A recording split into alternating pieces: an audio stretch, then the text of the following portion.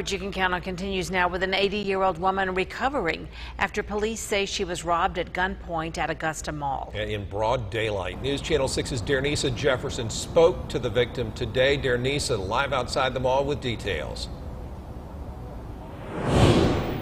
Brad, the victim tells me that assault happened at 3 o'clock in the afternoon in the parking lot at the Augusta Mall, and she says that's something she never expected to happen in broad daylight.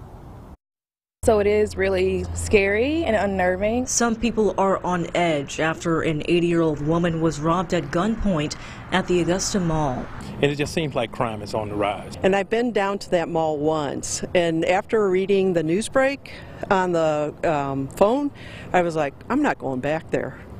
it's just dangerous. Investigators say the victim was in the upper level parking lot around 3 o'clock in the afternoon when a man pointed a gun at her and said he would shoot her. And then he took out a gun. He took out a gun and pointed it at me and said, I'm going to kill you. I'm going to kill you. Give me the purse. He stole her bag with her cell phone and wallet inside, and when she fought back, he hit her in the head with the gun. Even in broad daylight, where you would think that maybe someone would see something happening, that's not always the, the case.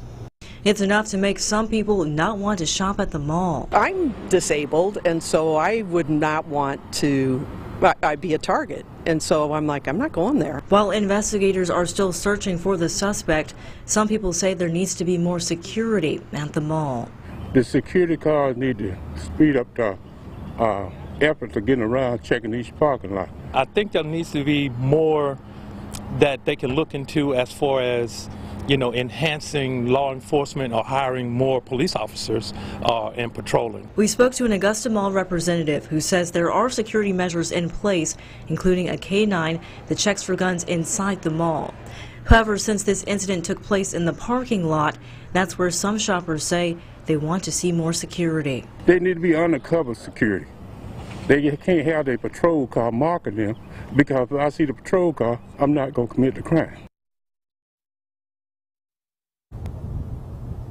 Investigators are still searching for the suspect involved in this case. They say he left the mall in a silver or tan sedan with no license plate and the front two hubcaps missing. Reporting live in Augusta, Dernisa Jefferson, WJBF, News Channel 6.